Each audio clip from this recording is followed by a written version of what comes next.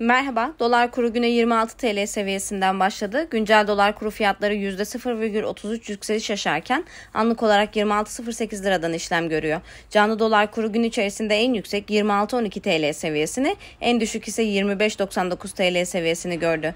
Bundan böyle bu YouTube kanalında günlük, haftalık, aylık ve yıllık dolar TL grafiği ile alakalı videolar bulacaksınız. Sizin de eklemek istediğiniz görüş, öneri ve tavsiye varsa yorumlar kısmından bizimle yorumlarınızı paylaşabilir, bizimle iletişim halinde kalabilirsiniz.